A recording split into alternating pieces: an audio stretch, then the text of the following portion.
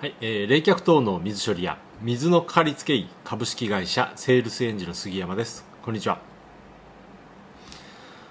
はい、えー、今日はですね、えー、あの冷却等の上部散水槽ここのですね目詰まりのお話をしたいと思います。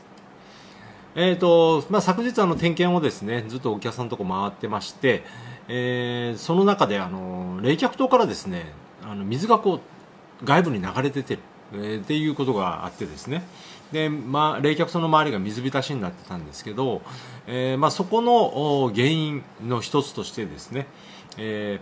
ー、冷却塔の、まあ、角型冷却塔の話なんですけど、えー、冷却塔の上にですね、えー、上部散水槽といいまして、えー、冷却塔の中で水をですねこうシャワー状にこう散水をしている、うんまあ、冷却塔の上に水槽がついてるんですね。でそこから、えー、水をこうシャワー状に降らせてるんですけど、えー、そこがですね、えー、そこの穴がこう目詰まりをしてたでそれで、えー、水の流れ方がですね、えー、おかしな状態になってて、えー、まあ溢れて、えー、外部にこう水があ漏れ出てたと。えまあ、あのこの、えー、チャンネルでも何度かですね、えー、この動画なんかもこう投稿しているやつがああると思いますけどあのそもそも冷却塔ってですね角型冷却塔の話なんですけどあの外部に水とかですねこう漏れないような構造になってます、えー、それが外にこう水が漏れ出てる、えー、っていうのはですね、えー、何らかやっぱりトラブルが起きていると思われて、えー、いいと思います。で、えー、そういう状態になるとですね、えー、本来の冷却塔の能力をこう発揮できなくなる。っていうことなんですねでちなみに昨日はですね、えーまあ、こういった感じの散水槽の穴にですね、えー、腐食した配管のくずがですね、えー、こう流れ込んできたと。でまあ、こちらのお客さんはですねあの水処理を現在はされてるんですけどあの以前されてなくてですね、えー、設備の腐食で、え、非常に困られてたとえーえー、それそういうことがあってですね、えー、水処理をこうやってほしいという依頼を受けてですね、えー、始めたんですけどもう実際こう錆びついたもの配管なんかが腐食したものがですね、えー、回復するっていうことはちょっと水処理では不可能なんですね、えー、進行を止めるっていうのがまあ私たちのこう役割かなと。